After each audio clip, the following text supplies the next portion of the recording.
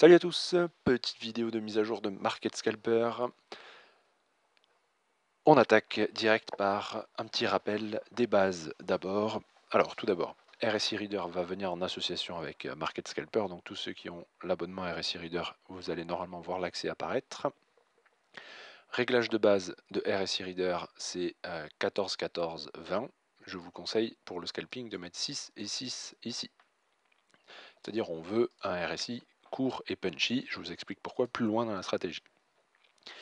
L'étape 1 de la stratégie de scalping, c'est trader dans la tendance. D'accord? Ça, on l'écrit en gros. Voilà, scalper dans le sens de la tendance. Pour définir la tendance, il y a bien sûr de multiples façons. Moi, il y en a deux que j'aime euh, bien. Donc, euh, elles sont là. Vous avez Ishimoku et ce que l'alligator de Bill Williams. Alors, Ishimoku, c'est comme d'hab, vous cliquez, ça active l'option, il va venir s'afficher dès qu'il a calculé, et vous pouvez afficher l'Ishimoku d'une unité de temps 5 fois supérieure. Vous faites ça, il va vous l'afficher aussi. Voilà, tac, là vous avez tout. Ok, donc ça après, c'est euh, selon vos préférences, sachant que si vous allez dans Style, vous pouvez tout configurer, les couleurs, euh, la présence ou non de l'affichage, tout est configurable depuis la mise à jour de, TradingView, donc ça c'est parfait. Donc la tendance en Ishimoku, elle est définie par quoi? Elle est définie par un nuage, euh, par une tendance baissière, par un nuage qui est baissier, rouge quoi, incliné vers le bas, avec la Kijun-sen, c'est la ligne rouge qui est sous le nuage, et tant qu'à faire la Tenkan-sen qui est sous la Kijun-sen. D'accord? Et le prix, bien sûr, qui est euh, sous le nuage. On peut avoir des pullbacks comme ça, mais vous voyez qu'il ne passe pas du tout le nuage. D'accord? Et la tendance haussière, il devait voilà, la tendance haussière, c'est ça. D'accord C'est strictement l'inverse. Le nuage est vert, ascendant, et la, Kijun-sen est au-dessus du nuage, et la Tenkan-sen est majoritairement du temps au-dessus de la Kijun-sen. Voilà, ça c'est la définition de Ishimoku d'une tendance. Ok? Vous pouvez euh, ne pas aimer ça et préférer quelque chose d'un tout petit peu plus réactif, mais qui du coup peut avoir des faux signaux. C'est l'alligator de Bill Williams. L'alligator de Bill Williams, c'est trois moyennes mobiles, hein, c'est publié euh, partout, donc il n'y a rien d'innovant dedans.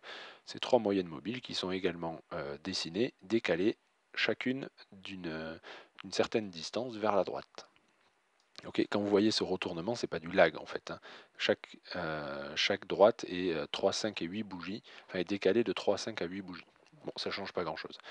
Quand euh, la jaune est en dessous de la bleue et la bleue en dessous de la rouge, c'est qu'on est en tendance baissière, et l'inverse, ça veut dire tendance haussière. Et quand ça croise non-stop comme ça, c'est qu'on est plutôt en range. D'accord? Le problème du range, c'est que vous vous rendez compte que vous êtes en train de croiser tout le temps comme ça, a posteriori. Eh ben oui, parce que euh, quand vous êtes ici, vous avez euh, le jaune est au-dessus du bleu, le bleu est au-dessus du rouge, vous vous dites prochain signal d'achat, j'y vais. D'accord Donc l'autre leçon à tirer, c'est on traite dans le sens de la tendance, mais il faut savoir identifier les ranges. Et pour essayer d'identifier les ranges en avance, vous avez l'alerte de, euh, Market Scalper, qui est la même que dans Market Reader, c'est-à-dire les petits points en haut, ils vous alertent comme quoi potentiellement à l'heure actuelle on est dans un range, les petits points que vous voyez ici, et les deux petits points, les deux petites croix que vous voyez en haut et en bas, c'est les targets hautes et basses du range. Là, vous voyez par exemple ici, typiquement, à cette bougie-là, il vous dit attention, on est peut-être dans un range, la target haute est ici, la target basse est là. Qu'est-ce que ça veut dire? Ça veut dire que si vous avez un signal d'achat à ce niveau-là, vous n'allez pas acheter sous la partie potentielle du range. Autant décaler un peu et attendre qu'on ait cassé euh, fermement ce range, voire qu'on pull back dessus. Par contre, vous allez pouvoir éventuellement vendre ici. D'accord? Ben, par exemple ici, vous voyez, vous disiez que la partie basse du range était potentiellement par là, et quand on arrive ici, vous voyez, on n'a toujours cassé ni la borne haute ni la borne basse, donc on est toujours dans le range. Ben, on vient mécher dans cette zone-là, ici, et tout qu'on trouve un signal d'achat, donc c'était un achat faisable, et il faut penser qu'on est dans un range, donc il faut plutôt TP sur la partie haute du range. Ok? La même chose bah, typique ici, voilà. Il nous dit attention, on est dans un range probable, c'est confirmé par les petits points que vous voyez en haut, le prix vient dans la partie basse ici, on trouve un signal d'achat, voilà, et il faut sécuriser dans la moitié, enfin le, tiers supérieur du range ici. Voilà, et là vous voyez, ça c'est la supériorité de ce petit ajout ici par rapport au, euh, euh, aux moyennes mobiles ici, ou à Ishimoku. D'accord? La détection du range. Inversement, là, il vous dit attention, on est peut-être dans un range. Vous voyez que là, la partie inférieure du range est détectée sur cette même bougie-là. On se retourne, on ne trouve pas de signal particulier. On a un signal de vente ici. Est-ce qu'on veut vendre le tiers inférieur d'un range? Pas forcément. Bon, ça casse vers le haut. Mais si on avait un signal d'achat ici, est-ce qu'on l'aurait pris? Non, on n'a pas cassé le range encore. Et là, on a un signal d'achat ici. On va faire les signaux juste après. Bien au-dessus du range, c'est un pullback. On casse. Regardez, on vient, on vient pullback pile sur la target haute du range avec signal d'achat. Ça, c'est l'entrée parfaite pour un scalp. Même chose ici, target base d'un range ici. On vient mécher dedans. On repart vers le haut. Voilà. Donc ça, c'est, euh, il faut y penser. C'est-à-dire avant d'appuyer sur le bouton, vous devez, un, essayer d'appuyer le bouton dans le sens de la tendance. Ça, c'est Ishimoku et les ou les moyennes mobiles qui vous le donnent. Ça sert à rien d'afficher les deux. Hein. Avant, donc ça, c'est la première étape. Donc si ici, moi je veux appuyer sur short, on est tendance baissière, je veux shorter. Avant d'appuyer sur le bouton, l'étape 2, c'est d'identifier les ranges. Euh, si je suis dans un range, eh je ne veux pas vendre la partie basse d'un range ou acheter la partie haute d'un range. Donc toujours à vérifier avant, est-ce que j'ai un range détecté il n'y a pas longtemps et est-ce qu'il a l'air confirmé par les petits ronds. D'accord? Ensuite, une fois qu'il y a ça, donc on est par exemple ici en tendance baissière, vous allez vouloir vendre. Donc il y a plusieurs signaux vendeurs. Euh, parce qu'il y a plusieurs stratégies implantées dedans. Tout ce qui est rouge, c'est vendeur. Tout ce qui est rouge ou orange, c'est vendeur. Tout ce qui est euh, bleu, euh, vert, c'est acheteur. Donc ici, on a donc les petits traits, c'est le sine wave, complètement modifié, qui commence d'ailleurs à plus beaucoup ressembler au sine wave initial, mais bon. c'est l'algorithme sine wave qui essaie de détecter les cycles acheteurs et vendeurs comme je vous l'explique dans la vidéo, comprendre les cycles de Market Reader, d'accord, qui est disponible sur la chaîne YouTube. Les petits rectangles, les petits triangles ici, c'est des points d'entrée également qui sont complètement différents. C'est pas du tout le même algorithme. Également les petits triangles euh, orange, d'accord. Donc tant qu'on est en tendance baissière comme ça, vous allez chercher à prendre tous les signaux de vente. Ben là, vous aurez shorté ici, shorté ici, shorté ici, shorté ici. Et les petits carrés, ils viennent vous alerter éventuellement sur le fait que il faut peut-être euh, mettre votre stop pas loin de votre entrée ou prendre des profits si ça fait un moment que vous êtes en short, d'accord? Car éventuellement, on pourrait trouver un petit ralentissement, dans un petit ralentissement du prix ou un, ou retournement du prix. Donc il vous aide à prendre des TP. Sinon, les TP habituels peuvent se prendre ben, sur un cycle contraire. Hein. Là, vous, par exemple, on est vendeur, on trouve un cycle acheteur ici, on peut prendre des profits. On peut fermer son short. On retrouve un cycle. Ça descend, ça descend, ça descend. On peut euh, prendre des profits ici ou mettre un stop suiveur. Après, c'est comme vous voulez. Il faut que vous adaptiez un peu votre stratégie également. Là, par exemple, grosse tendance baissière, on a un cycle acheteur qui ne m'intéresse pas. Moi, je veux vendre. Cycle vendeur ici. Tac, on voit que ça plonge bien. D'accord? Et là, il fallait prendre des profits. On va voir pourquoi dans l'étape numéro 3 des choses à regarder avant d'appuyer sur le bouton.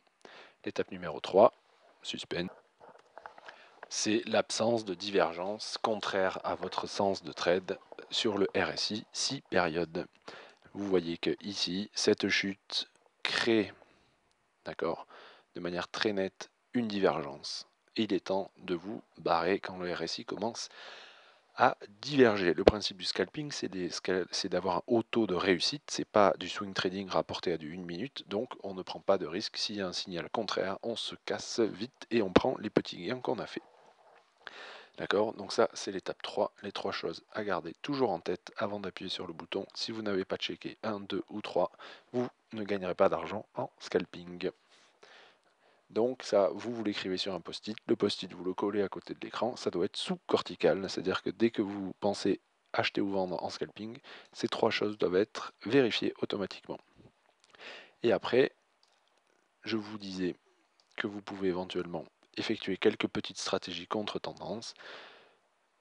Ça, vous allez développer ça avec le temps. J'affiche les fibos. Donc là, vous pouvez... Euh, les fibos, n'importe quoi. Les pivots. Vous pouvez afficher les pivots H1 et les pivots daily. Pareil, vous pouvez changer les couleurs euh, et tout, c'est pas, pas un souci. En fuchsia, c'est le pivot. Le reste des couleurs, c'est les supports et les résistances, d'accord Et euh, bah, qu'est-ce qu'on pourrait trouver comme exemple? Bah, Ici, typiquement, on vient sur une résistance ou un support Fibo daily, on trouve un signal d'achat. C'est typiquement le genre de scalp qui se tente, d'accord? Hop, un petit scalp pour remonter. Voyez, on fait le débordement, on réintègre signal d'achat. Ça, c'est le pattern typique, d'accord? Et inversement, ici, on est plutôt en range. On a une target de range ici qui est en plus le niveau, un niveau euh, pivot. C'est parfait pour entrer short sur ce signal. Voilà, donc les niveaux FIBO, ils sont oh, je vais y arriver, les niveaux pivot, ils sont reconnus par le marché, ils sont regardés par tous les euh, scalpers et les swing traders. Donc vous devez faire de même, là vous voyez la même chose, une target de range ici, on vient mécher dedans et on clôture sur ce support pivot à chaque fois, ou sur ce pivot à chaque fois. Excellente entrée, euh, alors excellente zone de TP pour un short, d'accord, par exemple le short pris ici. Excellente entrée euh, pour achat et éventuellement le mieux, le must du must est d'avoir aussi un signal d'achat ou de vente sur RSI Reader en même temps. Regardez ici, signal de vente sur RSI Reader, il y a une vidéo dédiée à ça, je vous invite à la regarder. Sous le point pivot dans un cycle vendeur, en haut d'un range, tout pour avoir une vente à haute probabilité de réussite ici. Et c'est ce qu'on cherche au niveau d'un euh, scalping. Voilà, donc, comme d'hab, évitez de scalper les horaires d'ouverture des marchés. Le matin et à 15h30, ça fait toujours des mouvements brutaux, irrationnels, euh, qui sont souvent très difficiles à, euh, à scalper. Donc, attendez que ça se calme. C'est beaucoup plus facile après. Ensuite, qu'est-ce que c'est les barres violettes? Les barres violettes, c'est des barres d'accélération du marché. Ça peut être des zones d'entrée sympas sachant que si vous rentrez en haut d'une barre violette, il faut le stop loss sous le plus bas des deux dernières bougies. Et, euh, pas plus large. C'est-à-dire que ça doit, c'est des bougies d'accélération, donc ça ne doit pas revenir très en dessous du départ de cette bougie, et ça doit continuer de monter. Ce pas des signes acheteurs très forts, c'est des signes de vrai scalp, c'est-à-dire que si vous rentrez là, ben vous allez TP à peu près sur la même amplitude que vous reportez. D'accord? Il ne faut pas chercher euh, beaucoup plus loin. Ça, c'est des vrais, euh, des vrais price action de scalping. Tac, je prends ça, que je reporte en haut. Voilà, vous allez TP ici. Donc dès qu'on atteint ça, vous vous barrez. D'accord? C'est la même chose dans l'autre sens. Voilà, bougie, regardez. Bougie ici, la grosse bougie d'accélération. Alors, où vous rentrez dès la clôture de la bougie, ou vous pouvez mettre un ordre limite de, short à mi-bougie, ici par exemple. Le stop loss au-dessus du plus haut, du coup, parce que c'est une vue baissière des trois derniers niveaux, donc, enfin des deux derniers niveaux, un 2, donc stop loss ici. Et donc je vous le dessine, le stop loss était là. Ma bougie fait cette taille le TP idéal de cette bougie, c'est là. et on voit que on l'atteint pas, d'accord, sur cette bougie-là. Mais on voit que quand même, on revient chercher, on fait plusieurs baisses. Vous avez quand même plusieurs fois l'occasion de sortir sans perte, surtout si vous rentrez au milieu de la bougie. D'accord?